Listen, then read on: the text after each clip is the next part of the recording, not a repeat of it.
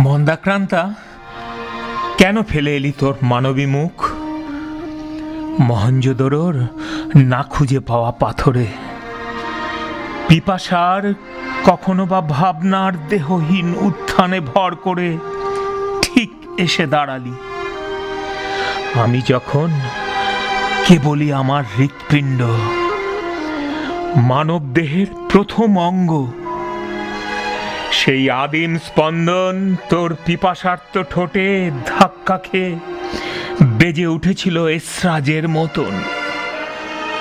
মন্দাক্রান্তা, তোর কি মনে আছে? গোয়ালপাড়ার তারির ঠেকের সুখ বা শিথিল স্নায়ুর আরাম মাখানো ধোঁয়ার মুখ?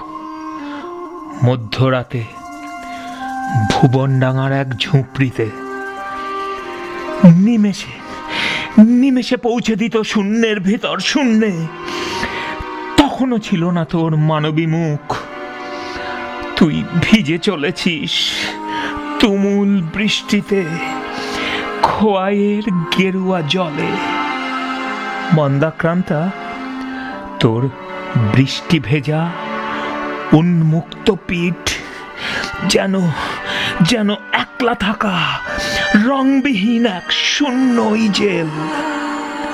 তোর পিঠে এঁকেছিলাম, তোরই পিপাসার্থ মুখ। মন্দাক্রান্তা ভুরু কুচকে ছিল দাভিঞ্চির মোনালিসা আর হুসেনের সরস্বতী। পাগল হয়েছিল হ্রদার বলিষ্ঠ ভাবুক। মন্দাক্রান্তা আজ দিক শূন্য মধ্য আটলান্টিকের এক নির্জন প্রবাল দ্বীপে বসেছে তোর স্বয়ম্বর সভা। যেখানে যেখানে হাজিরার বার্তা পাঠিয়েছে, সাতী নক্ষত্র থেকে নেমে আসা তোর স্বপ্নের রাজকুমার।